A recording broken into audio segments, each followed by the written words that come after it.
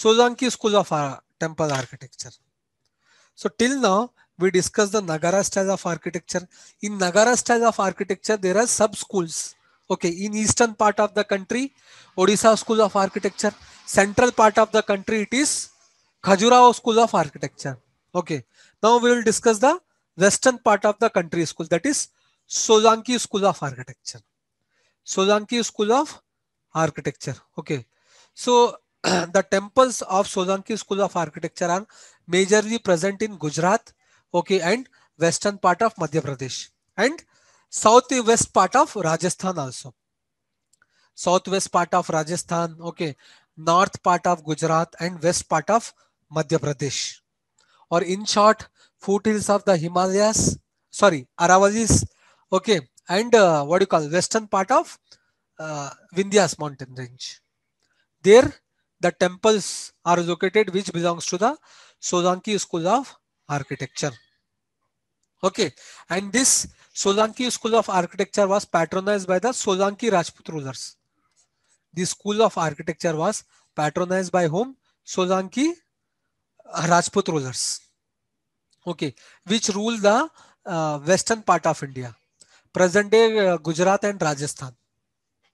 Okay, and this school is also having same same features like in Nagara style of architecture like Shikhara, okay, Mandapa, Garbhagraha, Pradakshina okay. Apart from that, high raised platform, then no boundary wall, no boundary wall.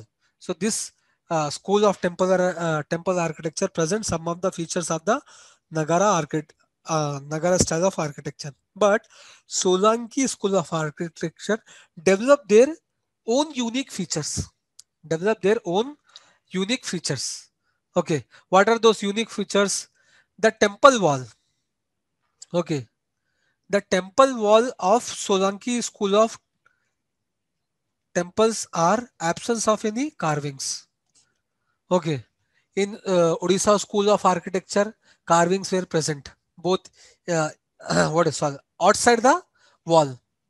In uh, Khajuraho school of architecture, carvings were present okay both interior wall as well as the exterior wall of the temple but in solanki school of architecture walls were very plain no carving on the walls okay no carving on the walls and garbhagraha it is connected to the mandapa garbhagraha is connected to the mandapa both internally as well as the externally okay internally as well as the externally Okay, externally means outside the temple complex. From there also people can access the Garbhagraha and through the Mandapa also people can access the Garbhagraha. So in short, Garbhagraha is connected or Garbhagraha was accessible. Okay, within the interior and exterior of the temple. Okay, and portico was there, right? Portico. Take an example. This is the Garbhagraha and this is the portico. Okay, this is the portico. Same pillar approach is there, but you know at the end of the portico there is a arch gateway. Here we can find the arch. You know arch like this it will be there, right? Like this it will be there. Arch, right? We can find arch. So the at the end of this portico there was a arch gateway, and this gateway is decorated with the ornaments. This gateway is decorated with the ornaments. Okay. And this gateway it is called torans torans remember how the torans of the stupa? Right? So in the same way the arch gateway which is also called as torans were present in solanki school of architecture okay. Apart from that one of the unique or significant feature of the solanki school of temple architecture is presence of step tank. Presence of step tank. That is called surya kund. You can see in the uh, picture right? This is the temple. This is the temple. And this is the whole temple complex. So just in front of the uh, what do you call? Garbhagraha we can find the step tank right can you see the step tank right here it is a water and these are the steps are constructed to access the water right so this is the most unique feature of the Solanki school of architecture. This feature is not present in any style of temple architecture in India. Any style of temple architecture in India. Okay, so step tanks were present just in front of the Garbhagriha. Just in front of the Garbhagriha. Hmm. Okay, okay. So just in front of the what do you call main shrine temple, step tanks were present. In these step tanks, small, small temples were present. Can you see? These are the small, small temples. Here also we can see the small, small temples. These are the small, small temples. Small, small temples are present on these step tanks. These temples are very small and these temples are having wood carvings. These temples are having wood carvings. Okay.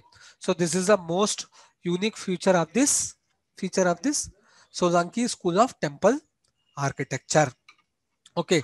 Step tank and this step tanks are uh, consist small temples and these small temples are having wooden carvings okay understood all of you?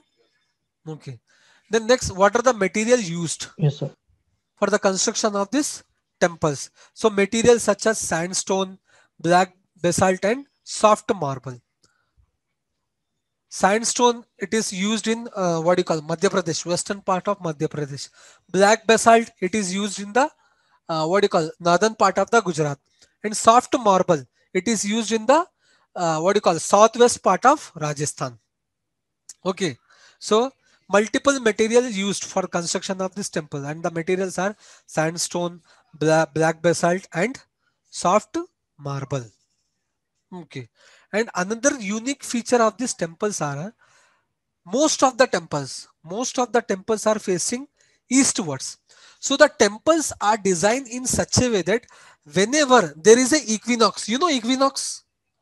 The sun will be exactly the vertical equinox might be have studied in geography right so during equinox equinox occurred uh, what do you call 22nd march and 23rd september so at that time during equinox, sun is exactly vertical on earth. Right. So the temple has been uh, this, you know, Solanki School of Architecture temple has facing eastward.